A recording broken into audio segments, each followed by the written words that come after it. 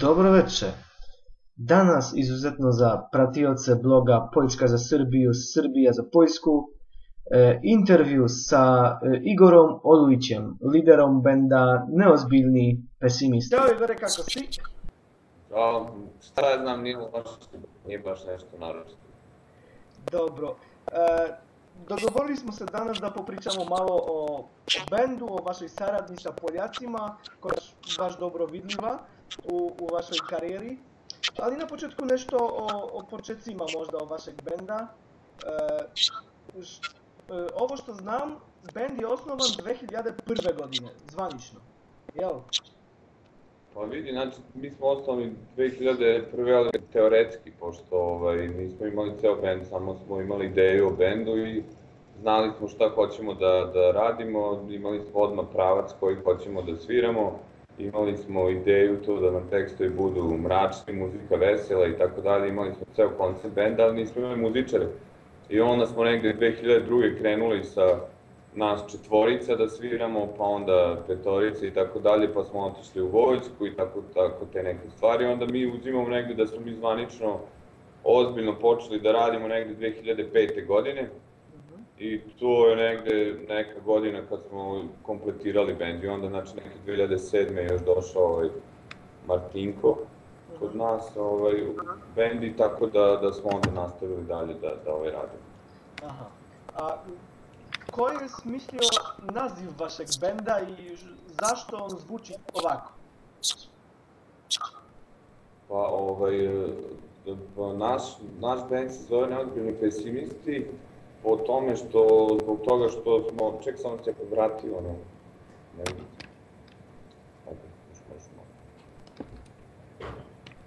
Ovaj, band se zove Neozbiljni pesimisti, što u stvari zapravo znači optimisti, znači mi smo optimisti koji pokušavamo preko te naše vesele muzike da dajemo neku nadu ljudi u teškoj situaciji pošto je ta prva neka izneverena nada koja je postojala u Srbiji se pojavila tamo posle 5. oktobra, tu su ljudi imali veoma velike očekivanja koje su se vrlo brzo izjelovila i onda smo mi na tom nekom prvom talasu nezadovoljstva napravili naš neki koncept band.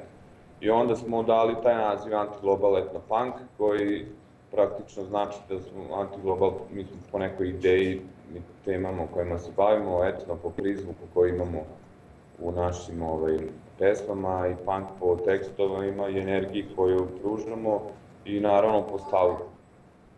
Uh -huh. A reci mi ko je, e, ko je bio u ovom osnovnom, osnovnom sastavu vašeg benda? Znači ti, e, Boris i ko pa, još?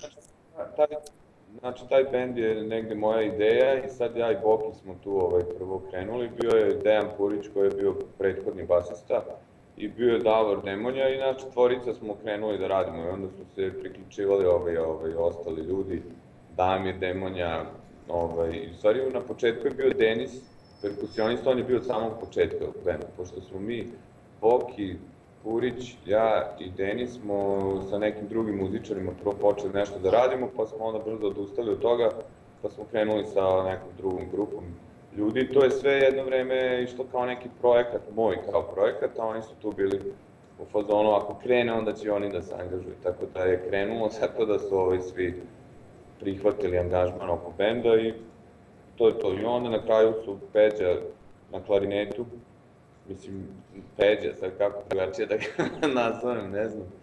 Ovo, može, može, slobodno. Tako zovemo ga u, u Poljskoj ga zovemo Milan. Milan se prijavio, ovaj, pojavio on da, ovaj, negde kasnije i ovaj, tad je bio klarinetista, sad je klarinetista i saksofonista i te negde 2007. Ovaj, se Martinko priključio bendu i tu smo kompletirali bend. E sad, u poslednje vreme, sad imamo još jednu gitaristu, Bojan Goluba, i tako da, da, je, da je to band.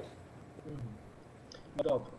E, prošle godine e, ste prvi put nastupili u Poljskoj. E, čini mi se da u avgustu na ovom festivalu Łemkowska Vatra, to je bio prvi put, jel? Da, da, to nam je bio prvi dolazak u Poljsku. Mislim, s Poljacima smo imali kontakt tako što su nas Poljaci gledali ovde u Srbiji. Bili su ovaj, sa sa Tomekom, sa Pokom su bili neka ekipa u Beogradu, gledali su na stadi, to je neki naš bio prvi kontakt sa njima i onda smo posle toga ovaj, dobili taj poziv za tu Lenkovsku vatru, to je bilo u avgustu prošle godine, neki treći, treći avgust, tako nešto. Mhm. I ovaj, nakon toga smo imali tu neku zimsku turneju ko, ovaj, u pet tih najvećih, ja pretpostavljam da su najveći gradovi Poljske, ovaj, Krakov, Poznan, Varšava, Gdanjsk i ovaj, Vroclav. To je bila neka zimska turneja tih pet koncerata i sada evo imali smo ovaj, e, tri, tri nastupa pre jedno mesec dana u, u Vroclavu, Varšavi i ovaj, u Krakovu. I sad imamo eto, naj, najznačajnije što se sad dešava i u principu naš neki najveći koncert do sad koji smo svirali i nastupit ćemo na tom poljskom Woodstock festivalu. A šta ste očekivali po vašoj e, prvoj poljskoj turneji u decembru recimo, to no, kraj novembra i početak decembra? Da se malo možda reklamirate, ne znam, u Poljskoj vašu, vašu muziku ili uopšte Srbiju u Poljskoj? Pa, jako je bitan moment taj da, da reklamiramo Srbiju u Poljskoj, to nam je jedan od ovaj, bitnih, bitnijih momenta u, u celoj toj priči. Ali šta smo očekivali? Nismo ništa očekivali iskreno, nismo znali šta nas opšte čeka i šta može da se desi. Bili smo potpuno iznenađeni, potpuno oduševljeni svim što smo videli i sa tim Poljacima koji su nas sačekali, sa tim da studiraju srpski i da znaju srpski i da su nas ovaj, veoma, da su nas veoma lepo ovaj, primjeli. Bili smo na, prvo, na prvom mestu bili smo iznenađeni što te svirke počinju tako u, u 8 sati. I onda mislili smo da niko neće. Prva svirka bila utorak u 8 sati, mislili smo da niko neće da dođe utorak u 8 sati, to kod nas nema šanse, kod nas svirke počinju u ponoć, ono najranije, tako da utorak 8 sati je za nas bio ovaj, propust, ali ovaj, nije se tako desilo, bilo je pun klub tamo u Vroclavu, atmosfera, sve, znači bilo je, bilo je sjajno. Možda nam je taj koncert ovaj, ostao najlepšem sećanju, možda zbog toga što je što nismo ništa očekivali i što nismo znali kako uopšte to funkcioniše, pa smo se iznenadili i onda to je sve bilo super. A ovi ostali, onda smo već na ovim ostalim koncertima smo znali da da u 8 sati nije problem da dođe publika i tako dalje, tako da nismo toliko bili iznenađeni. Zato je možda taj negde Vroclav ostao ovaj, najzanimljiviji. Mm -hmm. E, kao što si ranije rek, rekao, e, uskoro ćete nastupiti na ovom poljskom festivalu Woodstock. E, I ovde, šta očekujete po ovom festivalu? Opet ništa? Pa ne, ne, sad ovaj, očekujemo, mislim, očekujemo, sad da ti kažem, očekujemo dosta ili ništa. Očekujemo da, da, da, da imamo jedan dobar nastup i da ovaj, se prikažemo većem broju, znači što većoj publici, sad koliko će biti ljudi i kako to funkcioniše, opet mi ne znamo, samo smo gledali na, ne, na, na internetu da je taj festival veliki, da ima mnogo ljudi i tako dalje. Mislimo da, znaš šta, i ti si sam gledao onaj našu reportu kad smo bili u Poljskoj, kad smo pričali sa ovom našom prijateljicom Kasijom, ona kaže prvi korak je da nastupite na Woodstock festivalu, a posle toga sjajna karijera. Poljskoj. To je vrlo verovatno. A, a, da li se možda malo plašite da, da ipak ste još m, premalo popularni kod nas da, da biste e, interesovali puno ljudi tamo na, na Woodstocku? Pa mi sad, znaš, ne možemo ništa protiv toga, to je tačno, ne znam, ljudi za nas, ali ovo je prvi korak da proširimo ovaj, to njihovo interesovanje prema našem bendu i da se prikažemo u što boljim svetu. E, da li ste planirali možda e, da sarađujete sa nekim poljskim izvođačima? U, ne znam, u budućnosti? Nas, da, to je jako dobra ideja To je jako dobra ideja i nije da nismo planirali, ali nemamo nikakav ovaj, konkretnu neku ideju šta bismo, s kim bismo i kako bismo ovaj, radili. Ja, do duše, ja sam dosta, ovaj, sad da kažem, proučio tu neku poljsku scenu, ovaj, dobio mi informacije o vašoj muzičkoj sceni i sam sam nešto tražio, tako da sam ovaj, otkrio i upoznao na internetu jel, te neke bendove koji, koji mi se sviđaju i problem je to što što ne znam tek, ne znam o čemu se peva i ne znam tekst i tako dalje, ali taj deo nekoj saradnji je negde prisutna i u začetku je, ali nije još ništa povodom toga razrađeno, ali nije loša ideja. To bi, mislim da ćemo možda čak ovaj, nešto tako i uraditi. A, imali ste već priliku da posetite e, većinu, re, najveće poljske gradove u stvari, i e, šta vam se dopalo u Poljskoj, u Poljacima, e, kao recimo u ljudima u zemlji? Pa mi smo tad kad smo, kad smo došli, ovaj, stvarno bili oduševljeni sa, sa tom celom pričom ovaj, o Poljskoj, Poljskoj, to sve što smo videli, uopšte ti, tim, tim ljudima koji su nas ovaj, dočekali i sa poljskim gradom. Mi smo obišli Vroclav, Gdańsk i ovaj, Krakov, a pošto ovo, Poznan i Varšav nismo stigli da obiđemo u tom, toj prvoj turi, pošto su putovanja ovaj, dosta problematična i to je jedna od stvari u Poljskoj koja nam se nije svidela, poljski putevi koji su ovaj, veoma, veoma frekventni i nekako, znači onaj put e, između Poznana i Vroclava je najfrekventniji put kojim sam ja ikad u životu vozio, znači to je bilo, mi smo išli tih nekih 200 km, išli smo, ne znam, 4,5 sata. Tako da samo ne znam kako je bilo sad kad je bilo evropsko prvenstvo, kako je to funkcionisalo, mislim da je bilo užas.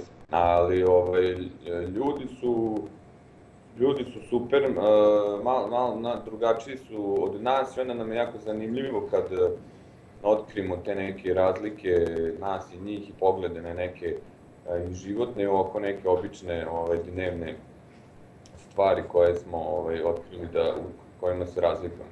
I sve u svemu, mi smo, mi smo ovaj, oduševljeni sa, sa tom celom pričom i Poljskom, i veoma, veoma nam je drago da smo bili, da smo videli da ćemo ovaj, dalje, nadam se, dolaziti.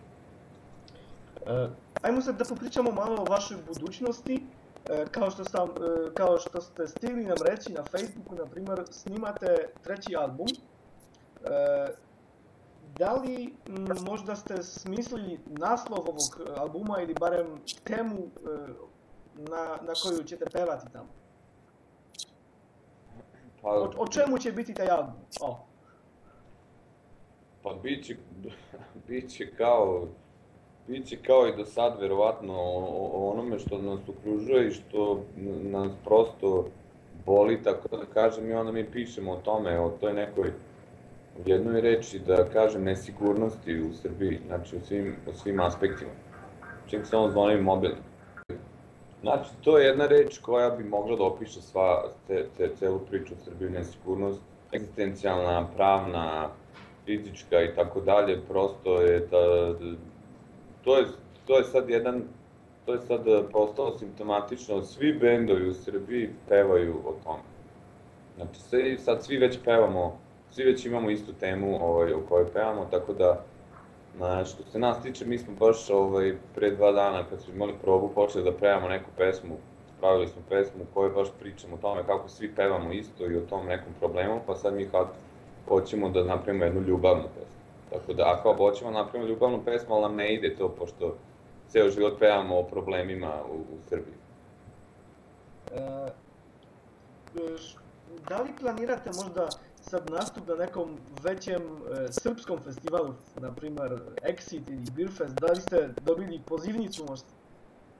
A, u, mi smo nastupali na, na Exitu pre dve godine, ove godine nismo, sad e, za sledeću godinu, sad ne znam, mi smo nastupali ovde ove, baš pre dve nedelje, u Nikšiću na Lake Festu, koji je stvarno jedan od praktično najvećih tih festivala koji se bave sa XU bendovima, koji je stvarno bio sjajan i tamo je bilo odlični bendovi i tako dalje. Mi smo svirali sa decom lošim ludičara i hladnim pivom i goblinima i goriborom i sledeći dan je bio takođe jak ovaj, program znači sledeća dva dana su bilo ekstra jaka programa na, na, tim, na toj bini.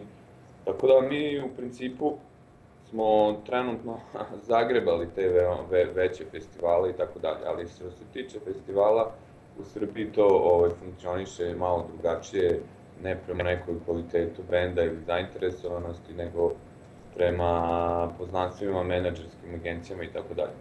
E, ok, za mene je to sve, možda e, želeo bi reći nešto e, i svojim fanovima i, i našim čitaocima, pratiocima. A sad nisam, nešto me prekidalo, slabo sam te razumeo. E, za, mene je, za mene je to sve, ali možda bi želeo sad da kažeš nešto svojim fanovima i našim pratiocima našeg bloga.